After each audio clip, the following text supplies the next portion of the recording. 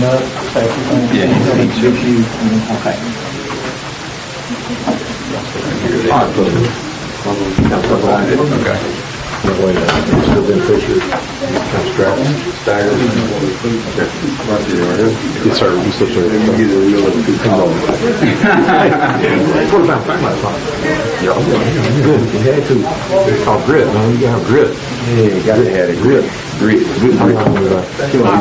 Somebody got it, flash, right? James, yeah, let's put that.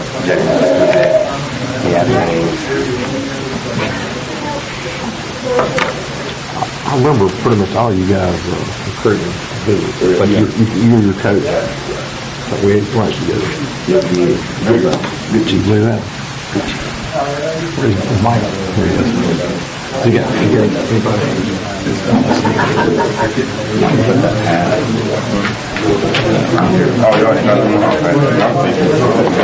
Yeah, you can just put it underneath this. Huh? You just put it underneath from here. It's gonna sit right here. Yeah.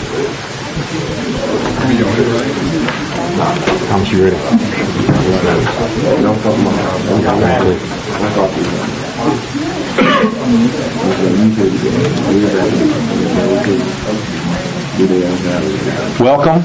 I'm Bill Ashley. I'm the Vice President for Student Affairs and Director of Athletics here at the college. Uh, thank you all for coming today. Uh, we're here to announce a, a couple of uh, good tidings. Uh, we'll first start off with a little recap of the fall with some uh, athletic updates, and then we'll get into the to the meat of the program. Uh, men's soccer this year, uh, our Southwest men's soccer team finished with the best record ever at 13 and 6. Uh, we made our first ever postseason appearance, and we also made the MACJC tournament for the first time as well. Uh, some individual honors. We had freshman Jaime Delore uh, wound up leading the NJCAA in goals. He had 31 goals this year, and he had 69 points. It also led the NJCAA. Um, he's also been nominated for All-American. Uh, here at the college, Jamie, or Jaime, excuse me, Jaime set six program records, including two career records, and he was a two-time league player of the week and a one-time national player of the week as well. Um, we also had uh, Francisco Aliciardi uh, and Delore were named as all region team members in JCA Region 23. Uh, Morris Aiken, Philip Millette were also all-state. Uh, Aiken, Millette, and Aliciardi played in the All-Star game as well. As far as women's, uh, the women's program goes, Taylor Laurent was named All-State as a sophomore, and both Laurent and Brinkley Gallant were named All-Star team participants as well. And the All-Star team was also coached by Coach Betty Casey, and they won that game 5 nothing. Football, uh, Pierce was an all-region first team all-state on offense. Duke Jansler and Michael Ware were first team selections for uh, the defense on the all-south team as well. Neil McLaurin, Anthony Eschman, they were both second team all-state offense. Uh, as far as basketball goes, our women's program, uh, currently the Lady, Lady Women, or Lady Bears women's basketball team is currently 5 and 0 and our men's basketball team is currently two and two on the season. And we had a great battle last night, and we uh, had a great victory as well to conclude our tournament last night. Um, without further remarks, I'd like to introduce Coach uh, Coach Gray. Coach Gray, come and tell us a little bit about our two signees here.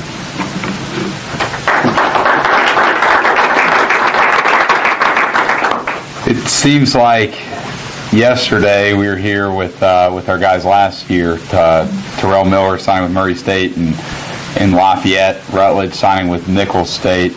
Um, and, and just kind of an update on those guys. This past Friday, Division One basketball started, and Lafayette, Rutledge, and Nicholls State went up to Boston College, who's in the ACC, and beat them. Um, he had a he had a great game, made a couple threes uh, among that six point victory. Uh, I believe is the first time they beat an ACC team in program history.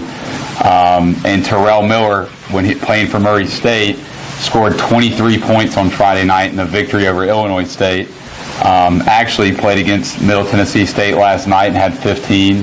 Um, and also former Bear David Burrell for East Tennessee State, who played here two years ago, uh, scored 27 points in their victory um, in East Tennessee State's victory over Fordham. So guys moving on uh, to, to Division One programs and, and using Southwest, you know, their time here uh, and their development here, both as a as a player, more importantly as a student.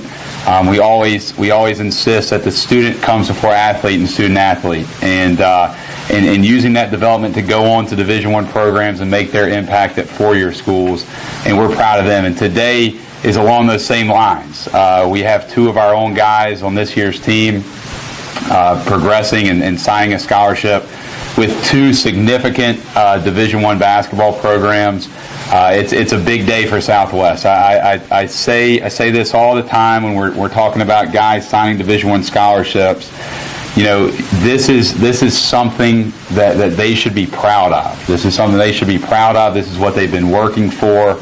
Uh, you know, sometimes junior college is not the most luxuri- luxurious route that you could take um, in athletics, but but these guys have used it and used it well.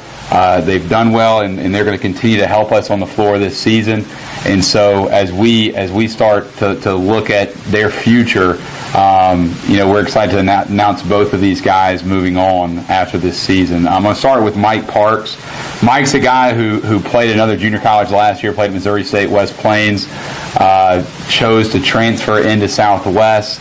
Um, and one of the main things that he, he, he really found attractive about our program is the guys that were able to go on to Division One programs. And so from day one, he had that on his mind that Southwest was going to be able to do that for him. Um, and, and so he came in with a great mindset, has really worked hard this year. I think has lost 15 to 20 pounds. Is that is that about right? Uh, in, uh, in, in in this this preseason, um, and, and and really has shown through that how much he wants to go on and, and play basketball after Southwest. Um, he was recruited by multiple uh, four-year schools, some some high major colleges, schools from the, the Big 12 Conference, schools from American Athletic Conference, schools from the Big East Conference.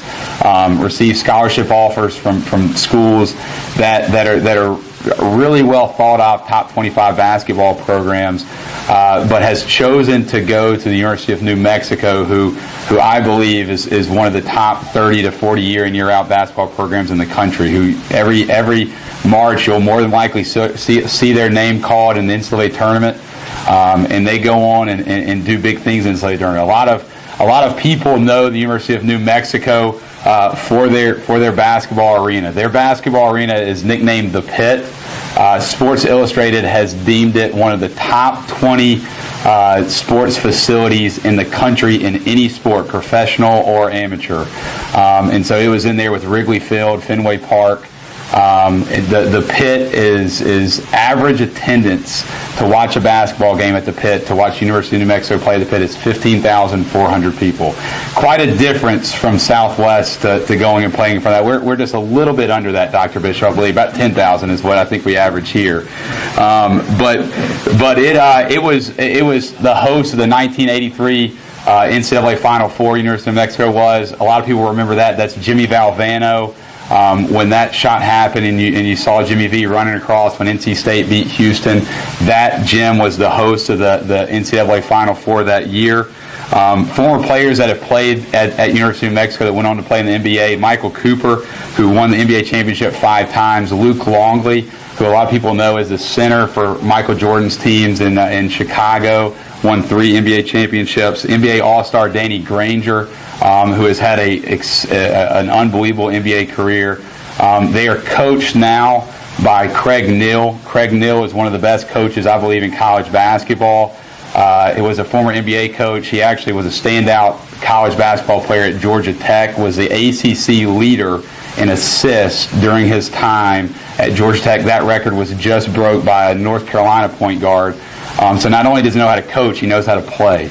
Um, and Mike, Mike, the league that he's going into, that University of Mexico plays in, is the Mountain West Conference, is a league that fits him well. It's it's a league that is full of, of big guys, big guys that, that he's going to have to get compete, you know, night in night out with. Um, and we're excited about him. I, I, think that's a place. You know, I asked him after he committed. I said, I said, is is this you know realizing one of your dreams? And he said, Yes, coach. This is for sure realizing one of my dreams.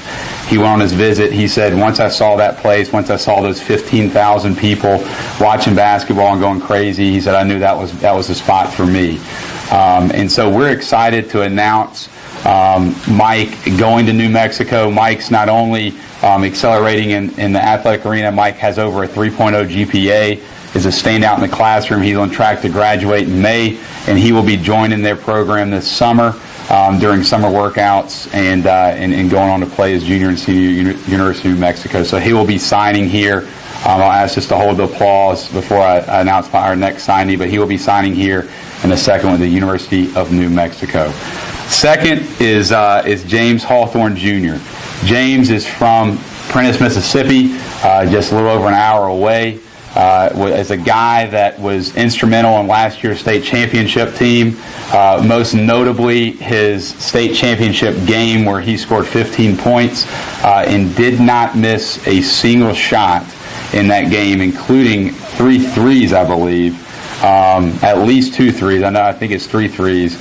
Uh, did an outstanding job and kind of took a tough role last year. I mean, he he was a guy, and I tell our guys all the time, he was a guy that that was used to being the star at Prentiss High School um, and came and was as selfless as an individual. Uh, as he possibly could be on last year's team, didn't didn't start many games. Uh, you know, kind of did whatever it took. Played positions that he probably didn't necessarily want to play, uh, but did whatever it took to, to allow this team to be successful.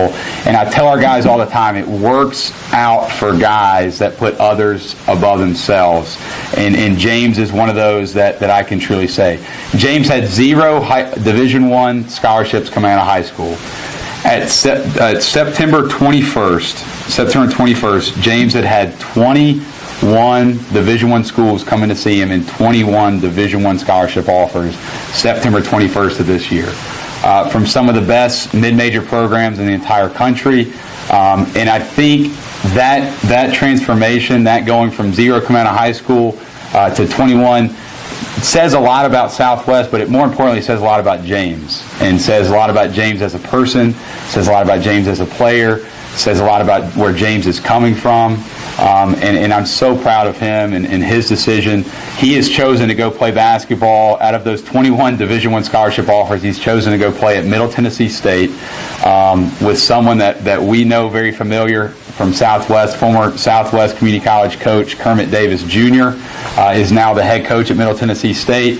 Uh, his father, a lot of people in Mississippi will know, his father was the head coach at Mississippi State um, from, from 1970 to 1977.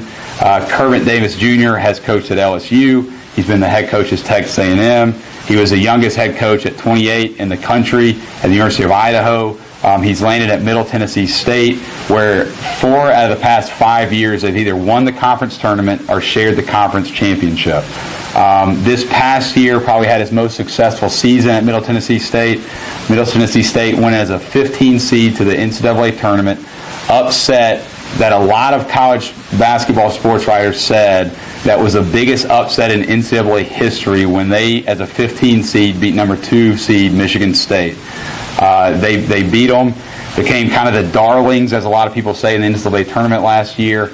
Uh, went on to, to eventually lose to Syracuse uh, University, who went on to play in the Final Four. So, so you can say, in a, in, a, in a large sense, that it was a very successful year for them.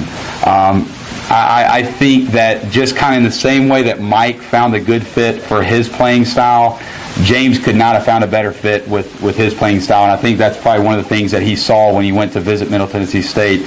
They take guys that are like him, that are long, that are athletic, that are slim, that can play multiple positions, and they are really successful with them. And so both of these guys signing these scholarships not only signifies the, the great opportunity to finish their education um, and, and be able to graduate from college, but to be able to put themselves in a situation to be successful on the basketball floor and potentially play basketball in the future after they graduate. And so without further ado, I'll ask them to pick up their pens and, and place their hats on their heads. And, uh, and we'll go ahead and sign these scholarships and make it official. Mike Parks going to the University of New Mexico, and James Hawthorne Jr. going to Middle Tennessee State University. Let's give a round of applause.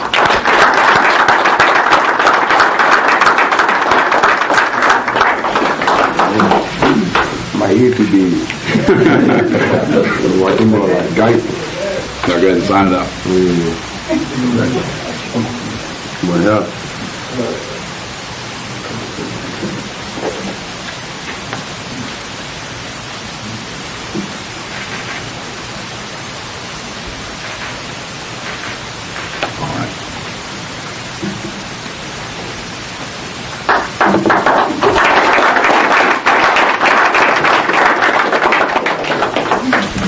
Congratulations. Uh, I know these young men are deserving of this. They've worked hard. I've seen them uh, work since uh, January, and in James' case, since last year. It's always wonderful whenever this opportunity happens. We're very thankful. We're also very happy for these young men and uh, wish them the best of luck uh, down the road. And of course, we have business to attend to now, currently, right, men? Uh, we're involved in our own season, but thank you. Uh, I guess we should thank the good Lord for this opportunity. Uh, that concludes our press conference, except for some pictures. If you'd like to hang around and take pictures, let's uh, let's hang around and take a few pho- uh, photos. So thank you all for coming today. Appreciate it. Have a great uh, great afternoon. Bye.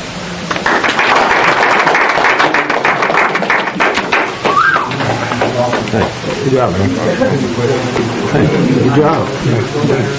Did you share the uh, email that uh, they wrote about you to your parents? I did. You already heard that?